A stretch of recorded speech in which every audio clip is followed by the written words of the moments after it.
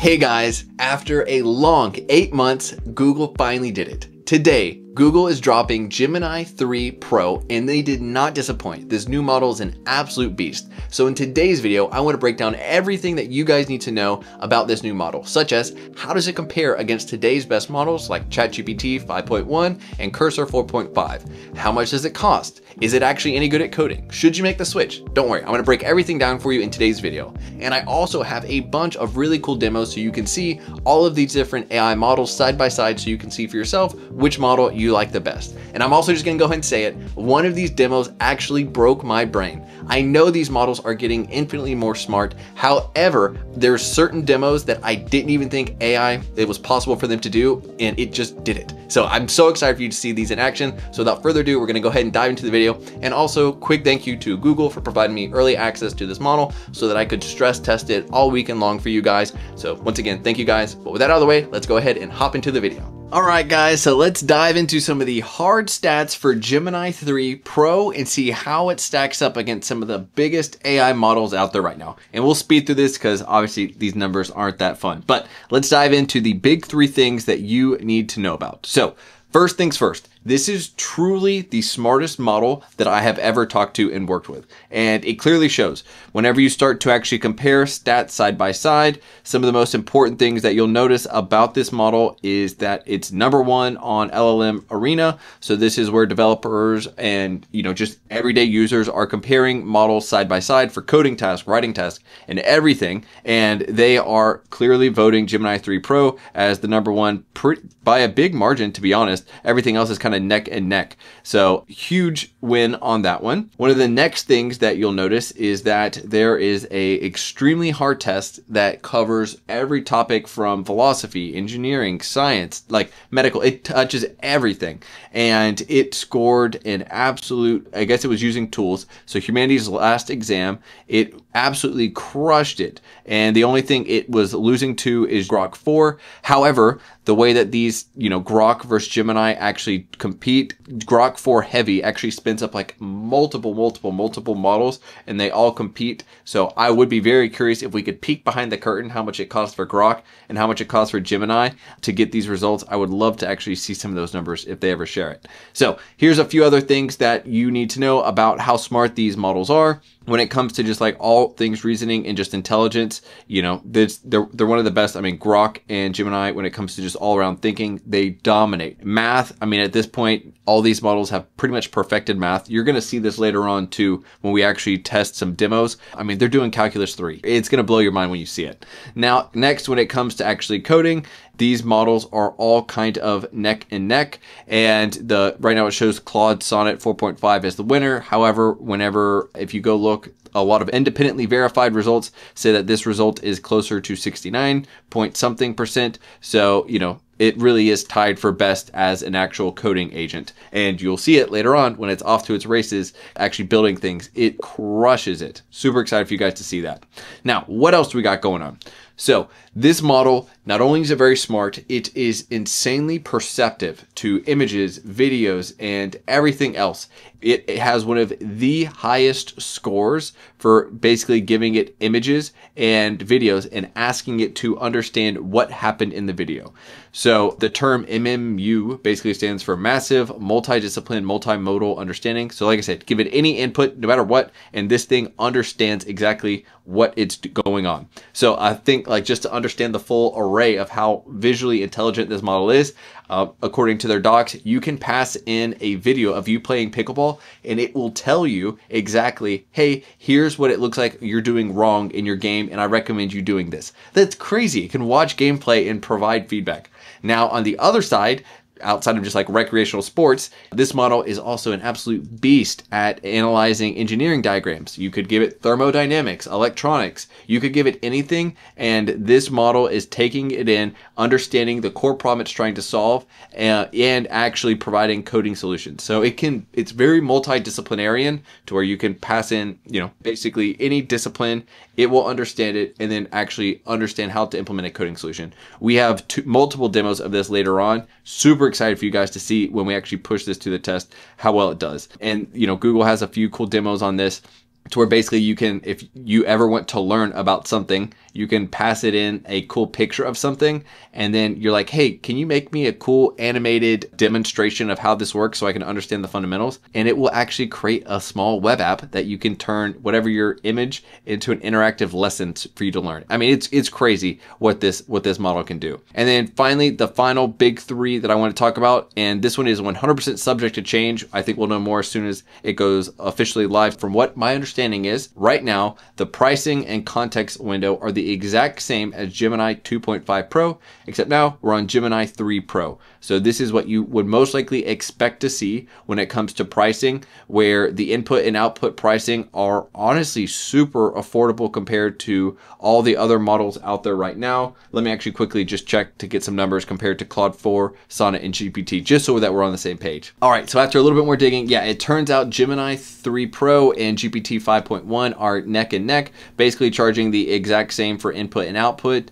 Obviously, this is whenever you are under that 200,000 token limit on Gemini 3, but you have the ability to go over and closer to 1 million tokens with Gemini 3 Pro, which is a huge unfair advantage when you're actually working with large contexts or big databases or big applications. And on the other side, flip side, we have the Claude models and Grok models, which are pricier. And what's crazy is in the past, you used to have to trade off for like, oh, I'll pay more for higher coding capabilities and higher reasoning capabilities which was the trade-off. But now Google is saying, no, I'm going to match you on those and I'm going to charge less, which is crazy. Like it is a very competitive landscape out there. So let's, with that out of the way, now that we've covered the super high level overview of how these models stack up, what I want to do now is actually dive over into some demos, which are genuinely going to blow your brains with how much the capabilities of these models is. It's just insane. I'm lost for words. So let's go ahead and hop over to the demos. All right, guys. So now it's time to see what Gemini 3 Pro is fully capable of and the best place to try this out is to hop over to Google AI Studio,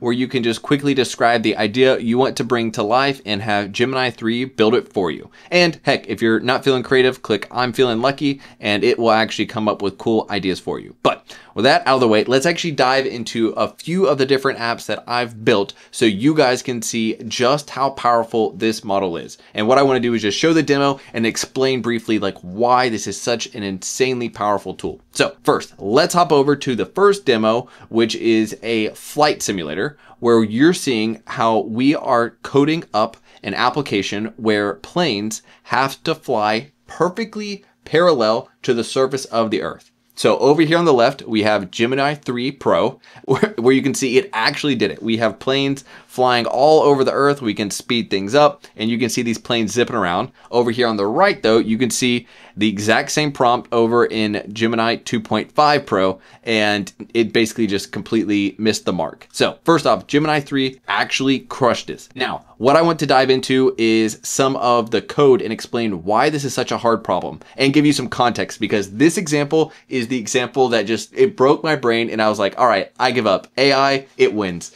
So here's what I mean when I started off my first engineering job at GTRI, I was given a task to build this type of application. And the reason why this is so hard is because to fully build this out, you have to understand, you know, the way planes work. You have to understand calculus three because you have to basically make it to where planes can fly tangentially to a curved surface and all around it is a like master's level problem. It took me two months to build out a very, very identical demo to this. And whenever I gave a two paragraph prompt to Gemini 3 Pro, I was like, hey, here's what you need to solve. And which is basically like build this type of application where it must fly perfectly parallel to the curved earth and don't drift. That's the hard part. And and then literally two minutes later, Gemini goes, oh yeah, of course, I'll build it for you and cranked out this application right here. And if you go, I mean, if we actually like dive into like how the actual code works and like some of the math behind it,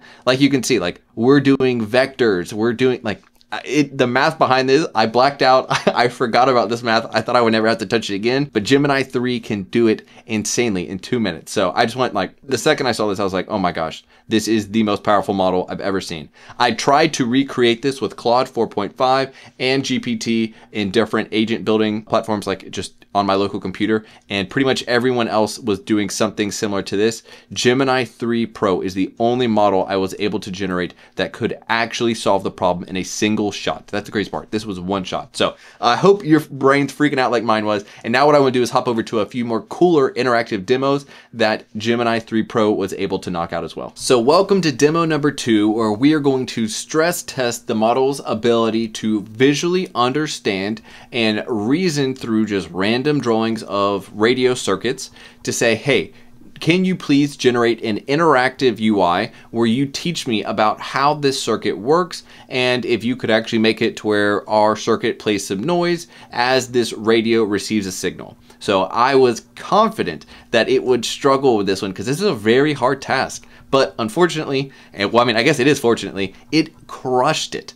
So you can see that Gemini 3 directly copied this exact circuit that we saw over here verbatim. Everything about this, it visually understood everything about it. Not only did it understand what it saw on the paper, but it could reason through how this circuit works. It understands that it's a radio.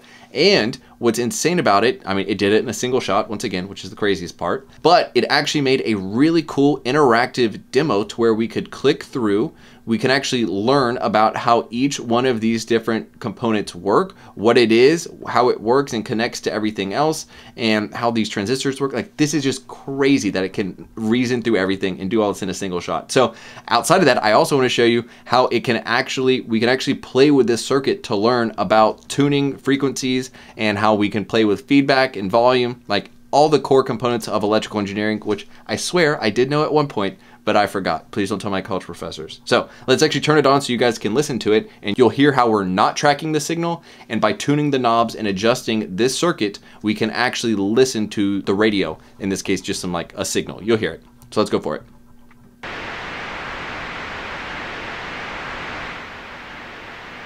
Okay, so we are on. You can see it's yellow. So now we're gonna change feedback.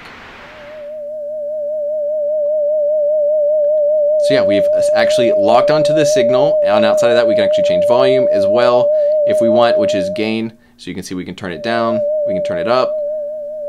Yeah, that's insane, guys. The fact that we built a radio, sorry, Gemini 3 Pro built a radio from a picture, that's just uh, crazy. So I hope you guys are getting excited just like I am. So enough with the science stuff. What we're gonna do next is go show a really cool video of and demo of this actually building out beautiful games as well. So let's go ahead and hop over to demo number three. So here is demo number three. I've officially created a game I can't beat. I'm awful at it to be honest.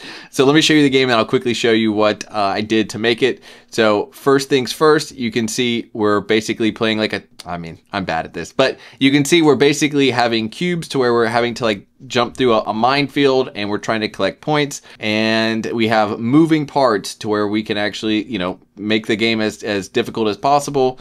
Uh, but basically that is the game in a nutshell and it was insanely easy to make. So you can see we have a, you know, a little bit more of a beefy prompt this time where we're basically saying, hey, your job is to make a single page website where we basically are a combination of Temple Run and Minecraft and Tron.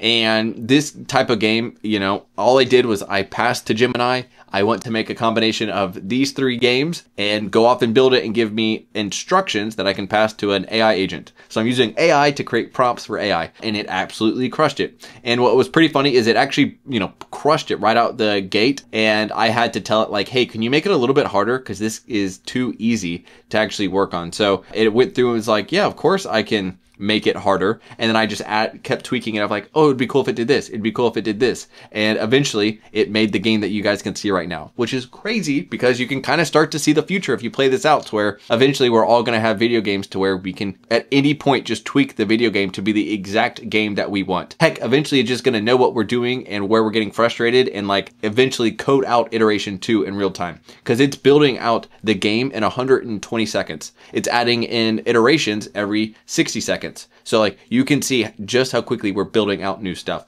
using this. So once again, Gemini 3 Pro is an absolute beast.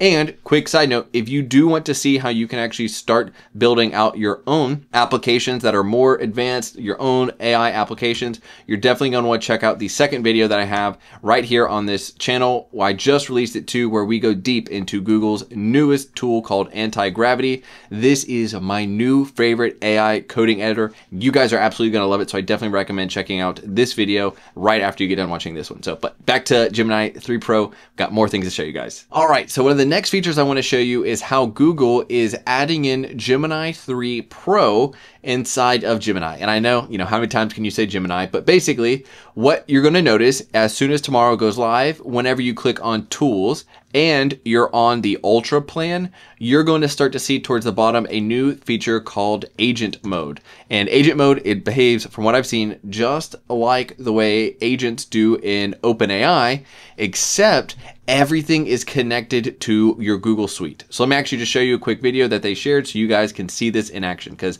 this is the moment of AI that I've been waiting for. So what you can see is you can select, hey, I would like to use agent mode, and then you can start to give commands about your inbox. So this is where I think, you know, you know, work is about to just explode. We're about to become so much more efficient now that AI is easily integrated into all of our tools. So you can see we're saying organize my inbox. It's going to look through all of our different tasks and we can say like, yeah, please perform the suggested action on each of these tasks. Also, here's another set of tasks and emails that we need to do. And we can just boom, boom, boom using Google's new interactive UI features. This is something else that's coming out tomorrow that you'll be able to see or today by the time you're watching this. But as you can see, we're basically just able to start to go through and take actions based on, you know, our emails, potentially our Google Drive. So like this is insane that this is acceptable. And this is you know this is going to be available on the ultra plan which is $200 so but yeah i hope you guys saw that and are excited too because i 100% am going to be uh, throwing 200 bucks at it so I can try it out myself. But that is one of the other really cool features of how you're going to be able to start to use Gemini 3 Pro, not just only in your coding workflows, but also in your real world workflows to do your day to day job and all of your side hustles and everything else. Super excited to try that out. I'll give more feedback on a video in the future as I get to try agent mode out as soon as it goes live. All right, guys, so now that you got to see Gemini 3 Pro in action, I wanted to give my final verdict and how I'm going to be using this model going forward. So, Overall, final verdict, I am in love with this model. This is my new go-to model for everything. Coding, working on just day-to-day -day tasks where I need to have an AI help me to do something. And very soon, as soon as the lights get turned on for it and it's public access, I'm going to be buying Ultra mode so that I can be using agent mode with Gemini 3 Pro. I'm, I'm so pumped and I will keep you guys posted on that. So that's a wrap for this video guys. I hope you enjoyed seeing Gemini 3 Pro in action and I cannot wait to see in the comments down below what do you think of this new model and are you gonna make the swap? And a few other cool reminders you guys are definitely to check out.